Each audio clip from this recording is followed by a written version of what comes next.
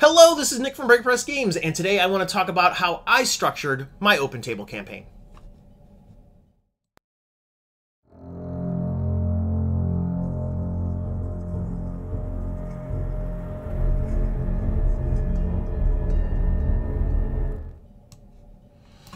Okay, so in my last video, I did 10 tips on how to run a successful open table campaign, and uh, by my standards, it did really well. It got some engagement on DCC Rocks on Facebook and on the uh, DCC RPG Reddit, and so uh, some questions came up as to people wanting to know how I structured my campaign. And so I figured I would do a video talking about exactly that.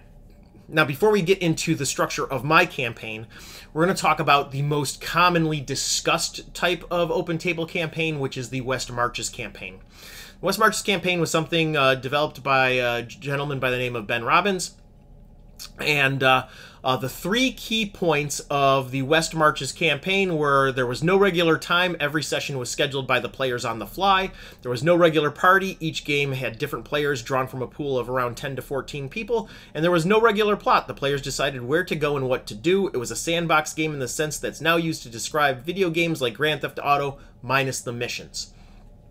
So, uh, real quick before we get into my eight uh, structural points, is I'm going to say that uh, number one, uh, there was no regular time. I don't do that. Uh, there was no regular party. Yes, I invite uh, at least 10 people, and everything is based upon how many people show up and, and who was there last time. And then three, there was no regular plot. The players decide where to go. Grand Theft Auto minus the missions. For me, I have an overarching backstory. There are villains and activities that are taking place uh, in the background, and whether the players choose to engage with that is up to them. But things are happening, and so those things are are different. Also, uh, the note about minus the missions, I definitely have missions. So, uh, with that being said, um, well, let's break down how I structure mine. Number one, set time and place. I've mentioned in other videos that I have ADHD and have struggled with executive function.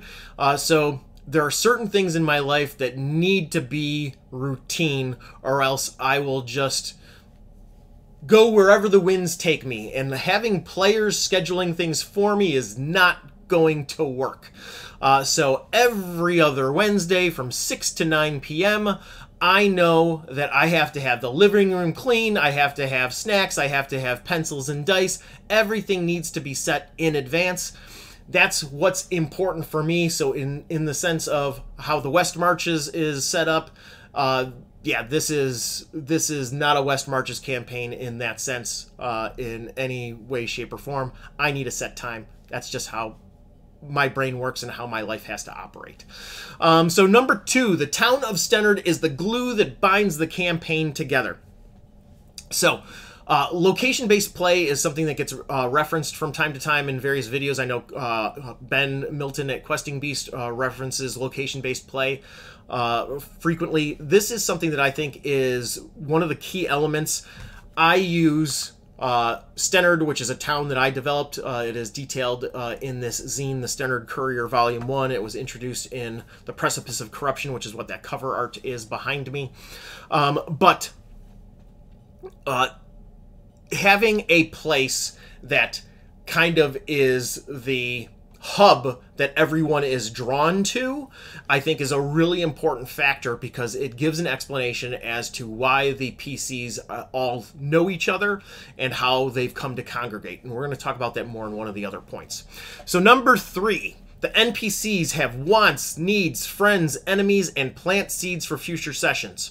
So, I'm going to talk about the Stennard Courier once again, and we will flip to Jowen Alemonger, who uh, runs is the proprietor of the Old Barn Tavern. In his list of, I actually detail out uh, rumors for each of uh, each of my uh, NPCs, and in these rumors, they talk trash about people that they hate. They say nice things about the people that they like. They introduce jobs, which is where where the missions can come in, and overall, um, they are where any type of information dump that I want to give about the world those little seeds that are going to grow into uh, into you know the the plot hooks and campaign points and all those things that uh, will come along the way. Those things are all introduced by the various NPCs that I have developed for the uh, town of Stennard. So, number four, the PCs have come to town because of an event or events, helping to explain drop in and drop out. So, what is that all about? Well, the town of Stennard is being punished with a with torrential rains that have caused widespread famine. And this has caused people to be displaced and is a great explanation for why a bunch of zero level peasants are milling about and wandering in and out of town. This is a very convenient explanation for why uh, uh, a player's characters would be there one week and not be there the next. They probably got a job or are uh, somewhere looking for food and uh, then wander back at a convenient time. So, uh, number five, new PCs start at zero level. I don't care about differing levels. This is something that I know uh, really, you know, chafes some people that uh, have modern gaming sensibilities. Uh, whereas I grew up in uh, the 80s playing AD&D where it was normal for a party to be composed of characters of multiple multiple different levels and I also hate the idea of rewarding players for not showing up. So their PC is going to stay at zero level as long as it makes sense for them to be zero level. Uh, yeah, and I also make sure that each of my, because of a high character death, I make sure that each of my players has at least two characters. So every session usually starts uh, with everybody like settling in, opening up the bags of chips, and rolling up a couple of additional zero levels because there's going to be some death. Uh, so, number six play begins where the group left off. This is usually a communal space, but sometimes it's on a cliffhanger. So, uh, I structure things so that uh, the session is going to play in two to two and a half hours, uh, so that uh, you know I don't have people staying here all night because uh, they all have lives and uh, have you know hired babysitters and have jobs that they need to go to the next day and what have you, and so keeping them much past nine o'clock is not desirable. So I want play to be completed in that two to two and a half hour time slot. So. Uh, yeah, uh, I make sure that the uh, sessions usually end at a convenient point. Uh, I'm going to talk next about uh, uh, different zines that I have written that are encounters that play in uh, two to two and a half hours. but that being said, occasionally there are cliffhangers, and I have written into adventures like uh, The Precipice of Corruption uh, various points where it makes sense that you would find prisoners, and oh, hey, there's a, a logical explanation as to why a, a new PC. Uh, because of a player that uh, you know missed last session and now they're here, why their PC suddenly shows up. Uh, this is something that you should use in your own games.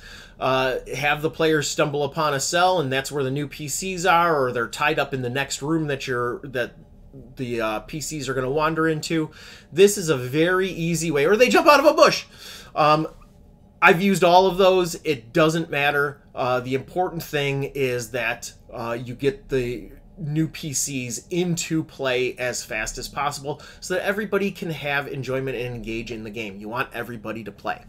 Uh, so, number seven elaborate encounters can work better than full adventures. Uh, the precipice of corruption got spread out with this particular group, with my open table group, across four sessions. And so they went to the covered bridge depicted be, uh, behind me. Uh, there was a bunch of character death. They lost four characters and they retreated straight back to the town. Uh, then they went back in and then they had to have a cliffhanger and then another cliffhanger and then the boss fight. And now they are back at town. But what I use a lot of now are zines like uh, Wide Eyed Terror or Pamphlet Adventures, uh, like Desperation of the Hungry, where these are small missions that are an elaborate encounter that is going to take, you know, an hour and a half, two hours, two and a half hours. And I find that writing these bite-sized chunks, it creates a beginning and a middle and an end that is a satisfying session for somebody uh, where it's it's not necessarily it, it, it can be played as a one shot but it's all tied into the town of Stennard and so it all feels like a part of this big cohesive thing. And so this is a lot of what I do in order to keep all even though all the players aren't at every session they all feel that connection because it all goes back to Stennard. Now lastly Number eight, keep rewards small, focus on info and peer acknowledgement.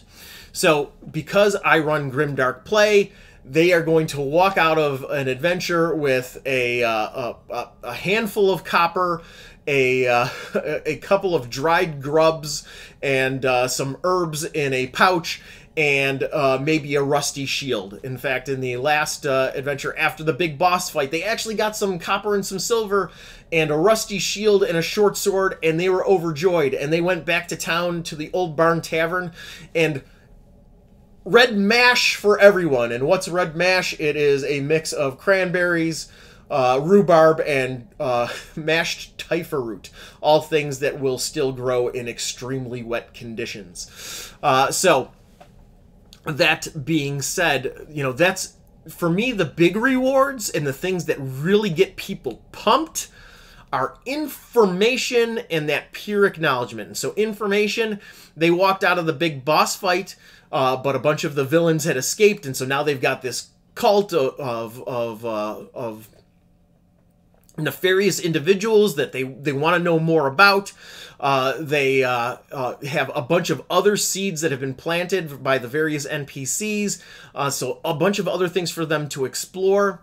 And then I mentioned that at the end of my sessions, uh, that peer acknowledgement, I have uh, each of the players go around the table and talk about the thing that somebody else did that was their favorite moment of the night in order to reinforce one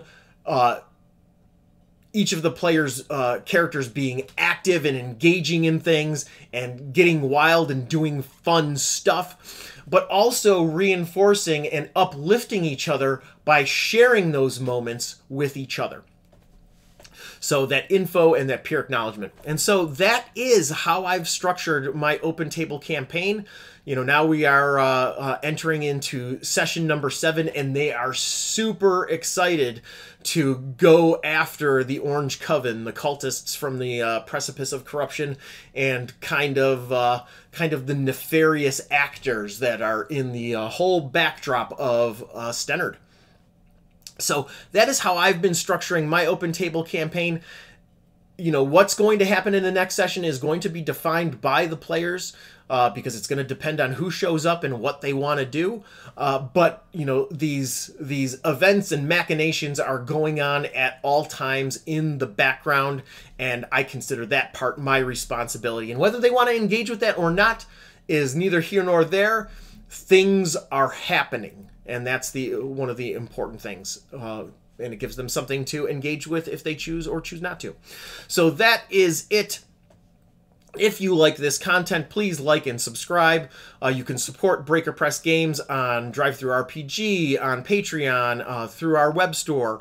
Uh, all of that helps, so please, uh, you know, like, share, subscribe, and uh, if you think that these these adventures and uh, this story uh, or right, this uh, town sound cool, you know, check those out through your favorite place to buy Dungeon Crawl Classics content. and finally, uh, I one of the things that uh, was written into the script that I forgot to in, uh, mention is that I recorded a video about uh, making your own town and using the story tools that are presented in the TV show Midnight Mass that was a, uh, a Netflix exclusive. I highly recommend that. I have a 20 minute long video where I talk about Midnight Mass. Uh, and so I'm going to link that in the card. So check that out if that sounds interesting to you. It is yeah, I I think that it is a great study in how to build your own town uh, full of uh, action and intrigue and what have you. So uh, check that out.